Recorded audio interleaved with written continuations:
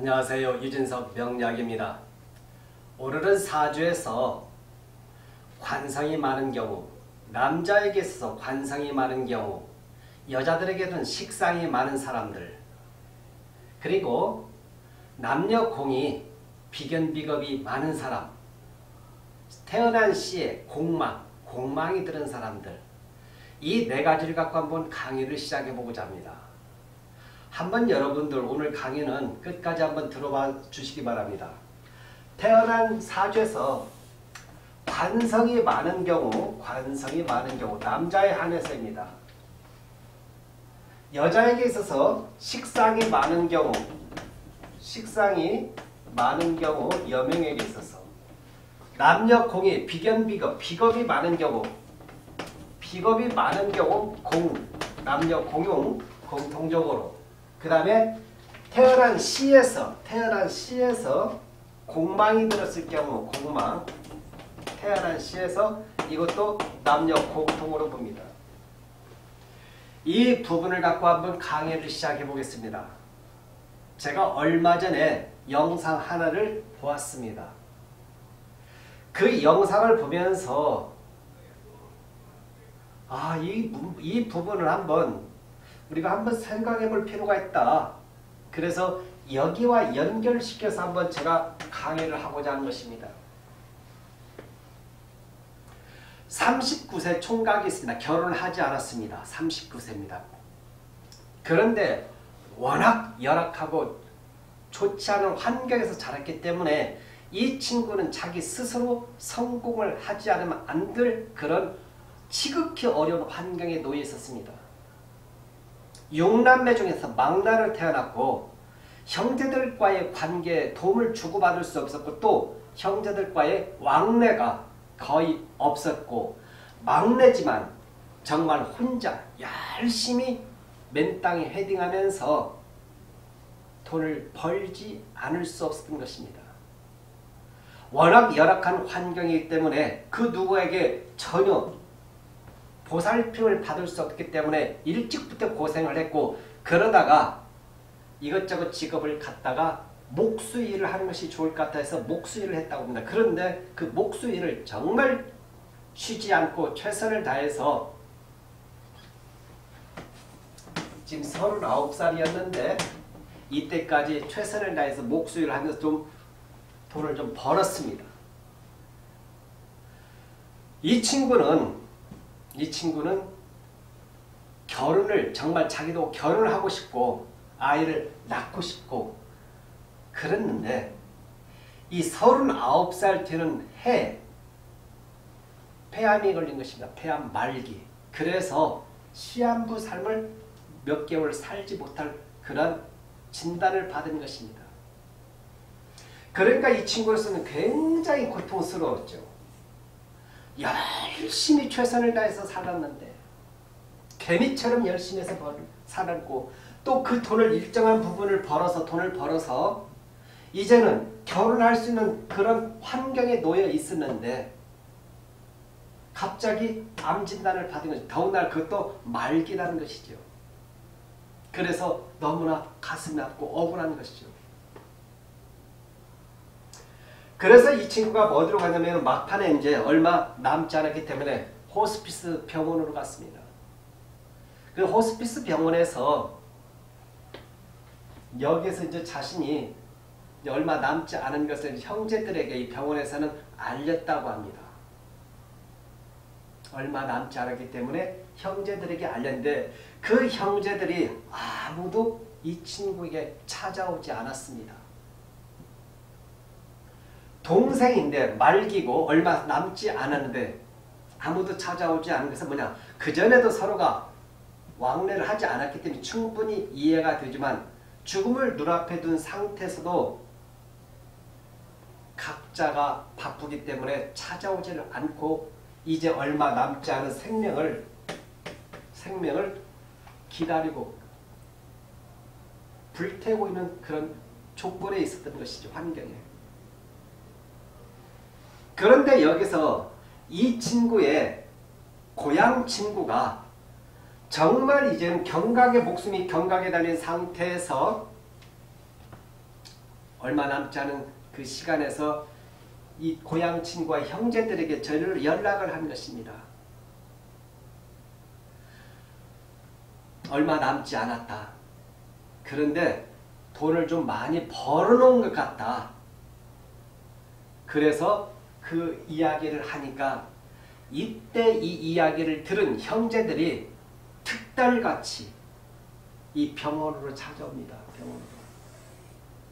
병원으로 찾아와서 다짜고짜 돈에 대한 부분, 통장, 통장과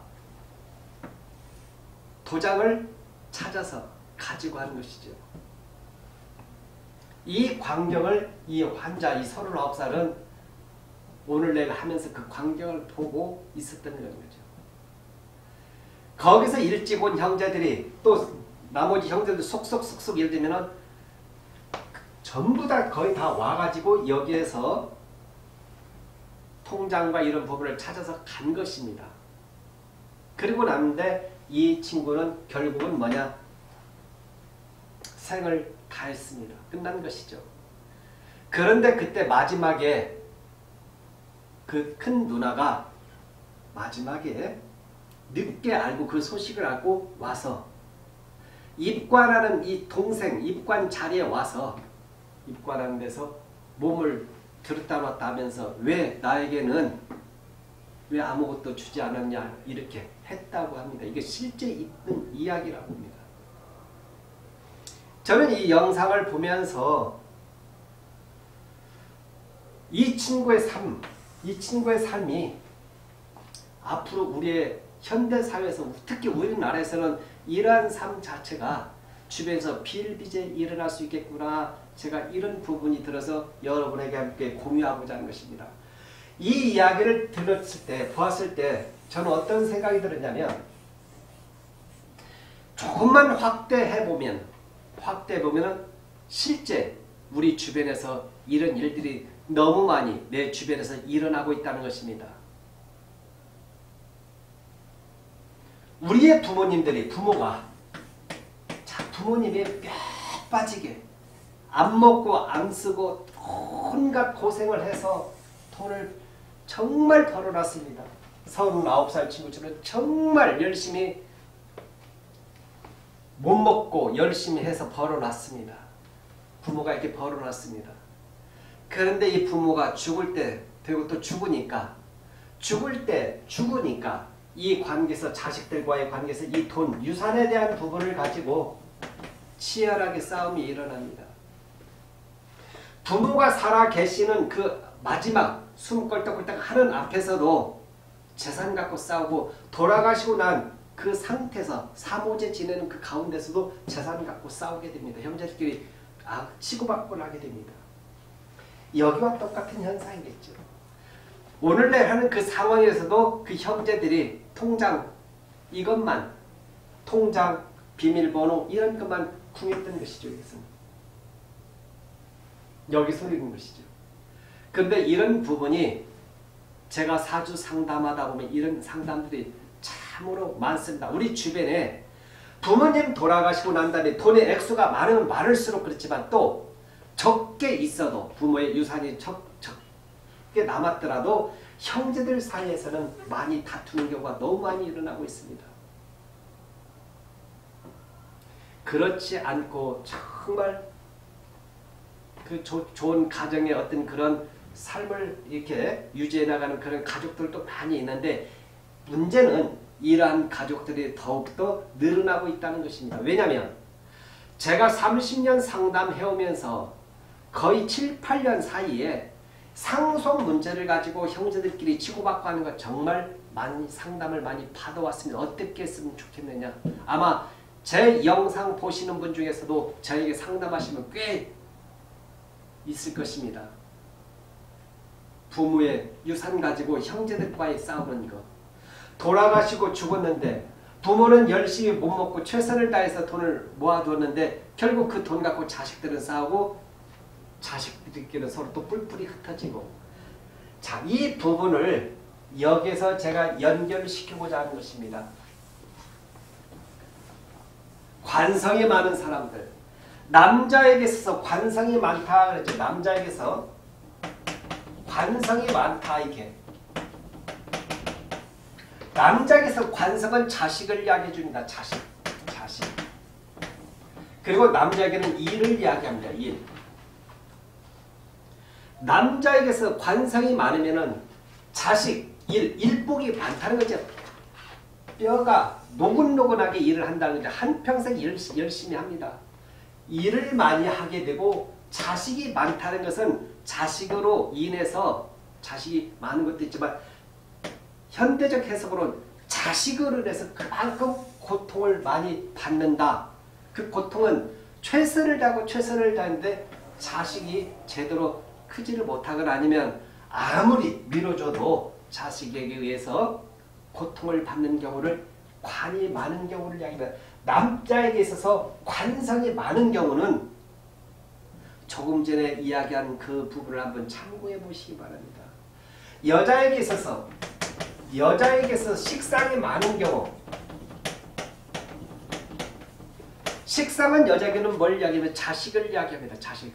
자식이 많이 있다면 자식으로 해서 온갖 희생을 해놓고 남자는 관상 남 자식에게 온갖 희생을 해도 마지막에는 고통을 받는다는 걸 이야기합니다. 왜냐하면 관상이 많으면 본인은 일 본인을 극하기 때문에 관상이 많으면 식상이 많으면 본인을 힘을 다 소진시키고 누설해서 빨대 뺄 것은 다 빼가기 때문에 이렇다 이걸 이야기해 주겠죠. 그러니까 온갖 희생을 하고 온갖 희생을 해도 아픔이 있다 마지막에는 아프다 이걸 얘기했죠. 고통을 받는다. 비견비겁이 많다. 그리고 비견비겁은 형제들 이죠.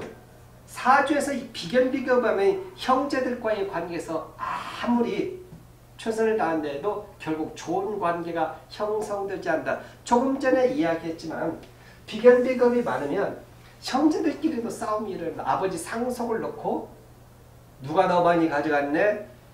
네가 왜 많이 가져가냐? 나는 왜 이거밖에 안 주냐? 치고받고 하고 극단적으로 가는 경우도 많이 있습니다. 사건 사고 많이 있습니다. 재산 상속 갖고 형제들끼리 죽이는 관계도 많이 있습니다. 그 다음에 공망, 태어난 씨입니다. 태어난 씨의 공망이 있는데 단 조건은 뭐냐? 여기가 용신인 경우 용신이 태어난 씨의 공망인 경우는 자식으로 인해서 정말 마지막에는 그 고통을 받게 됩니다. 이 네 가지에 의해서 이 네 가지에 의해서 조금 전에 내용이 이런 경우다면은 이런 경우에 해당이 된다면 아, 내 사주가 여기에 해당이 된다면 한번 정도 생각해 볼 필요가 있다. 한 번 정도. 정말 부모로서 희생만 하고 희생만 하고 최선을 다하는 것이 과연 그게 옳은 길인가? 아니면 내가 이런 상태다면 나를 위해서 자신을 위해서 조금 오히려 자신에게 쓰고 자신에게 더 많은 시간을 투자하고 좋은 걸 좀 누리는 것이 좋은 것인가 한번 생각해 볼 필요가 있다는 것이죠. 마지막에는 뭐냐? 싸움이 일어난다는 거죠. 싸움. 자식끼리 싸우고 형제들끼리 싸움 이것은 분명히 좋지 않다. 그러면 그 싸움이 일어난다면 이런 유형에서 일어날 수가 있기 때문에 그렇다면 싸움을 방지하기 위해서는 내가 일정한 돈을 벌었다면 일정한 부분을 최대한 쓰고 가는 것이 자식을 위해서나 형제를 위해서나 더 좋지 않냐 이런 이야기를 하는 것입니다. 결국 남긴 것이 나는 못 먹고 못 쓴 것이 결국은 뭐냐면 아픔으로써 더욱더 그 골이 깊어질 수가 있다. 살아있는 후손에게 자식들과의 관계, 형제들 관계에서 이런 부분이 생길 수 있기 때문에 생각해 볼 필요가 있다 이걸 얘기해 주죠. 서두에서 지금 39살 총각이 저는 그 내용을 들으면서 얼마나 그 친구가 고생했고 힘들게 살았을까를 다 이렇게 기억이 이렇게 머릿속에 지금 모습이 보여졌습니다. 정말 결혼하고 싶었고 자기도 자식을 낳고 행복하게 살고 싶었고 그 하나를 목표로 최선을 다해서 살고 살아왔는데 어느 날 갑자기 암이 걸려서 그나 그것도 치유가 불가능한 말기 암 판명이 돼서 이도저도 못한 상황에 있을 때 과연 이 친구는 우리가 어떻게 이런 친구를 무슨 말로 위로할 수가 있겠는가? 못 먹고 못 쓰고 최선을 다했는데 결국은 뭐냐면 이 최선을 다하고 최선을 다해서 본 돈을 한 푼도 써보지 못하고 이 돈이 결국 자기 형제들과의 관계에서 이 돈 갖고 싸움이 일어나고 저는 그래서 한 번 정도 이런 유형에 속한다면 이 중에 하나에 속하는 사주의 유형이 있다면 자신을 위해서 시간을 자신을 위해서 그 돈을 일정 부분 쓰는 것이 중요하다 이렇게 보겠죠. 그렇지 않고 여기에 해당되지 않은 사람들은 가정이 그래도 다 어떤 환경이 어려울 때 더 똘똘 뭉치고 잘 가는 그런 가정도 많이 있습니다. 그러나 여기에 해당이 되는 사람이라면 여기에 해당이 되는 사람이라면 자신을 위해서 쓰는 것 자신에게 최선을 다해서 자신에게 모든 것을 공급해주고 자기를 최고로 대우해주는 것이 가장 중요하지 않냐 이렇게 저는 이야기를 하겠습니다. 여러분도 한번 참고해 보시기 바랍니다. 감사합니다.